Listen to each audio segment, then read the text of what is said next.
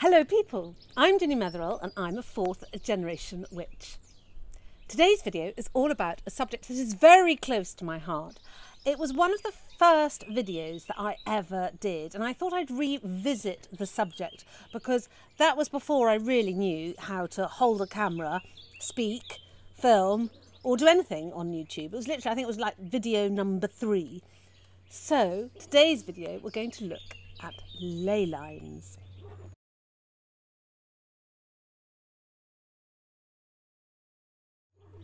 So, of course, the question is what is a ley line? There has been a lot written, recently especially, about ley lines. They apparently were first written about by Alfred Watkins, but he just produced a treatise on what he saw as ley lines, and he thought that they were pathways, ancient pathways through which the Earth's magical power ran. Now, for those of us who have studied ley lines, and I understand ley lines to be a sort of river of Earth's magical power. Ley lines aren't therefore a static thing like a road. They are as gently moving as a river does. A river flows and ebbs, it can go up and it can go down. Now, we have lost the art of real knowledge about ley lines, and this art was known almost from time immemorial. We, we lost the art of ley lines really around the first millennium.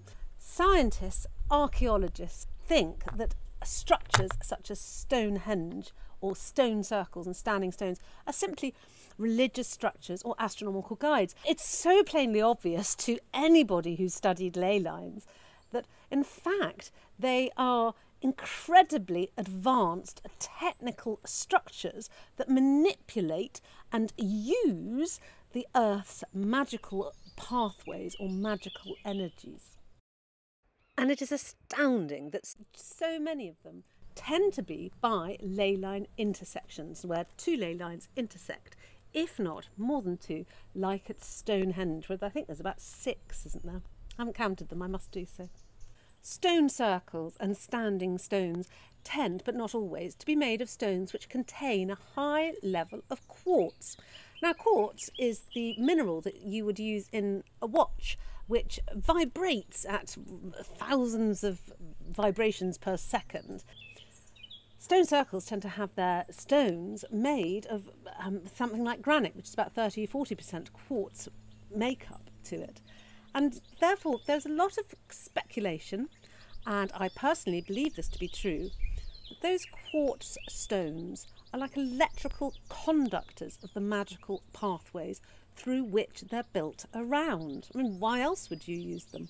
The individual standing stones, almost like needles. If you think like of an acupuncture needle being put into your body to activate the meridians in your body by that needle, that's exactly the same as a standing stone.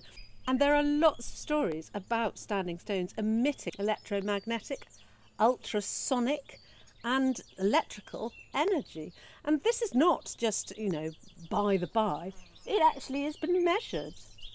Some people are much more sensitive to the energy of ley lines than others, and they can really feel the force fields.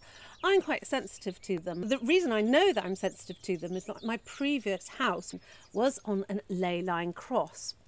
I found this out as soon as I started putting up my wards, as I do when I move to a new home, and uh, making sure that I'm protected, my family's protected, and etc. etc. Which, if you want to learn, join Patreon because we're doing that this month. So do come and join our coven meeting. And whilst I was putting up the wards around this property, I discovered a massive magical energy crossing through it, which was slightly disturbing. It was actually in the kitchen in the northwest corner, and all my cakes used to never ever cook in that kitchen.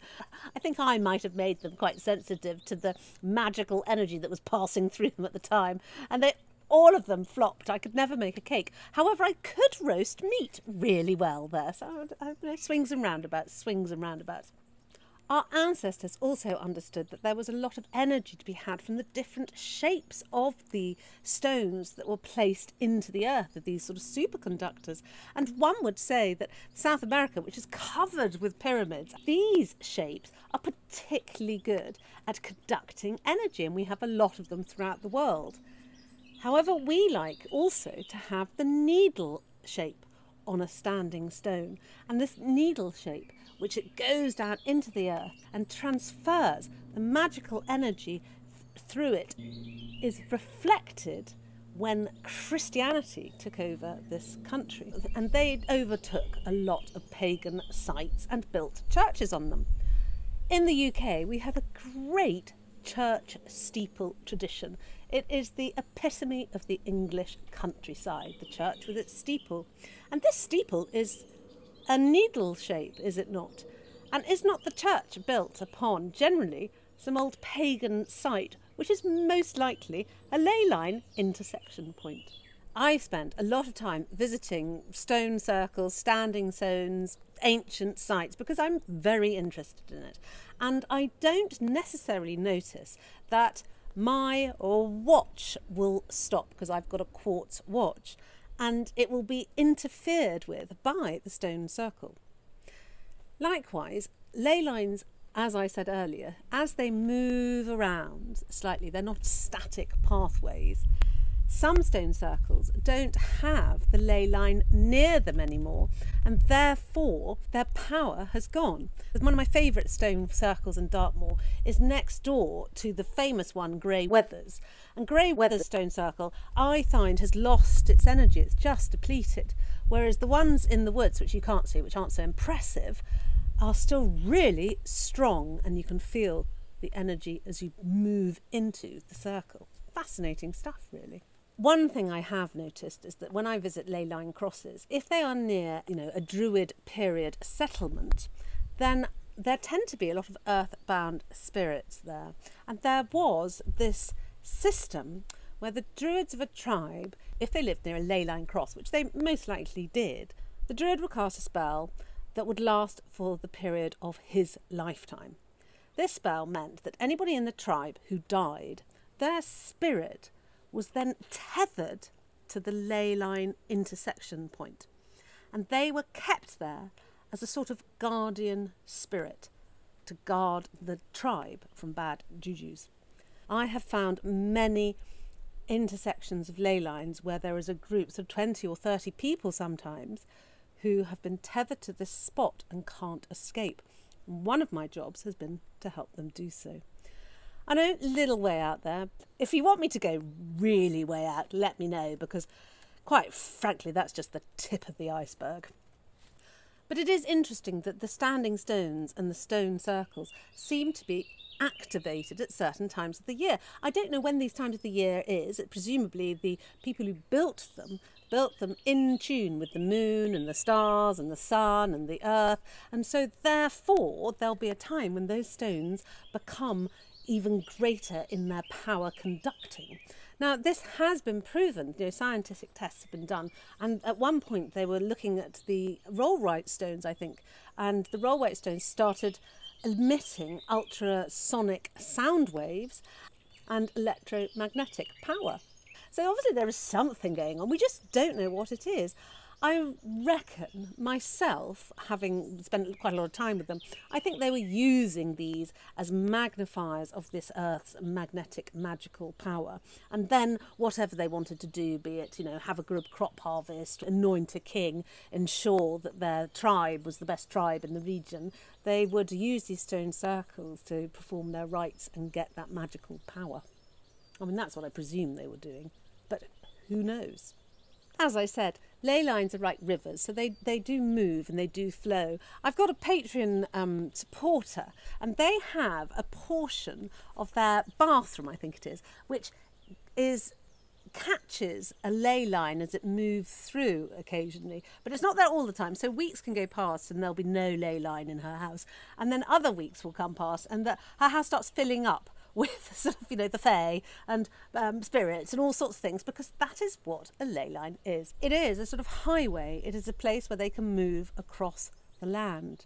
And it's very difficult to block off a ley line because this is, you know, the Earth's power. It's a bit like moving a mountain. It's almost impossible to do.